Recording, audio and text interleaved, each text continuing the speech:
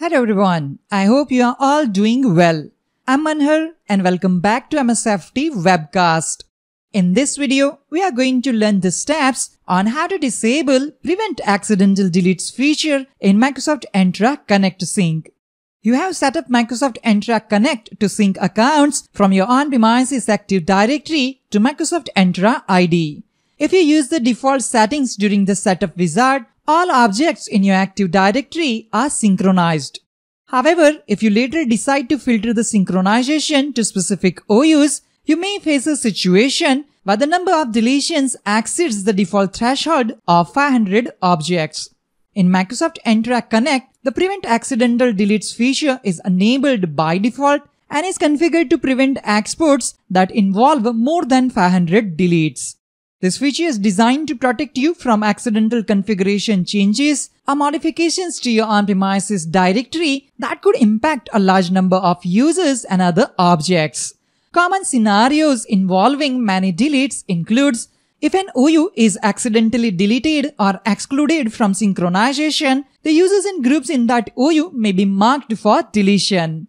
Bulk deletion of users or groups in Active Directory can trigger an attempt to delete too many objects during synchronization. So how do we solve this problem? The default value of 500 objects can be changed with PowerShell using enable adsync export deletion threshold command. We can adjust this value to match the size of our organization. Since the sync scheduler runs every 30 minutes, the value represents the number of deletions detected within that 30 minute period. First, log into the server where Microsoft Entra Connect is installed. This is our Windows Server 2019 domain controller named ws2k19-dc01 for the msft webcast.local domain. In the previous video, we used the Express settings to install the Microsoft Entra Connect tool on this domain controller. Click on Start button and open Synchronization Service Manager. This opens the Synchronization Service Manager. In the Operations tab, the status displays Stop Deletion Threshold Exceeded. In this video, you will learn how to resolve this Stopped Deletion Threshold Exceeded issue. Click on Start menu and select Windows PowerShell Admin. Run the get-adsync export deletion threshold cmdlet to check both the object's deletion prevention and threshold count.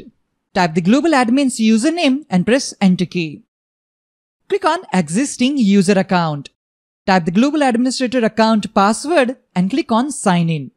If prompted for MFA, please complete the authentication process. The output shows that deletion prevention is currently enabled in our tenant. The default threshold count for AD objects is set to 500 objects. The solution to this issue is to disable the export deletion threshold using Windows PowerShell. After that, force a sync with Microsoft Entra Connect Sync and verify that the export completes without errors. Finally, revert the change back to the default setting for protection. Let's go through this process step by step. First, disable Microsoft Entra Connect Sync export deletion threshold. Type command disable hyphen -ad sync export deletion threshold and press enter key. Type global administrator accounts username and press enter. This time it didn't ask for the password. The output shows that deletion prevention is now disabled.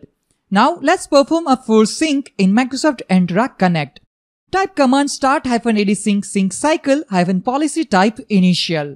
Press enter to start the full sync from on-premises Active Directory to Microsoft Entra ID.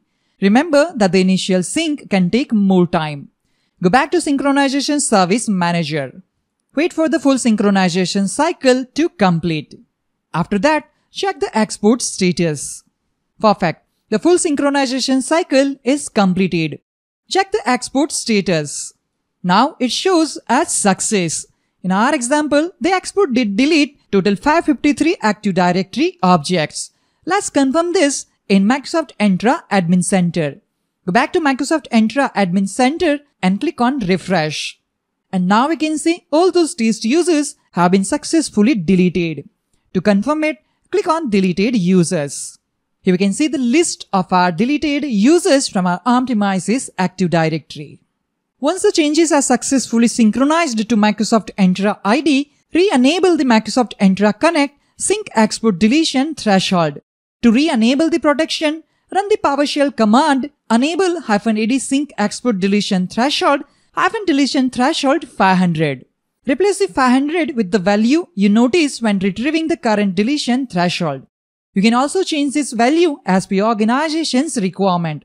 In this example, I'm going to set this value to 200. Now, let's press enter key to run this cmdlet. Again type the Microsoft Entra Global Administrator's username.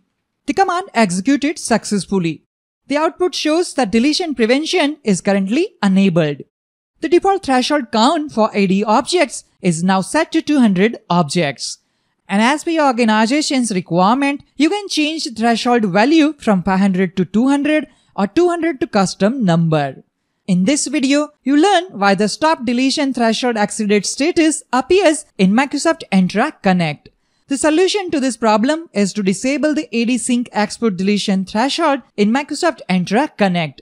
Once done, the Microsoft Entra Connect synchronization will run without errors. That's all for this video on how to disable prevent accidental deletes feature in Microsoft Entra Connect Sync. I hope you found this video helpful and informative. If you have any questions or need further clarification, please leave a comment below.